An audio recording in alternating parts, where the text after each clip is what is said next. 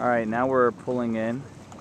As you can see, we're between a couple different islands here. There's one here to the left, and we got uh, two here to the right.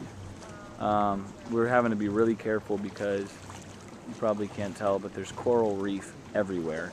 And we're trying to find a safe passage through here where we can anchor up in here. Just spend the day in between all these reefs. Um, it's really beautiful. Got quite a few sailors out here today. Um,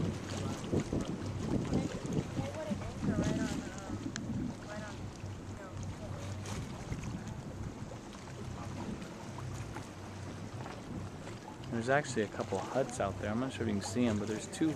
There's like five huts out there. I don't know who the hell lives out there on that island, but it's probably a little hike to the nearest mall. Uh, got a couple people walking this island right now. It's gonna be awesome.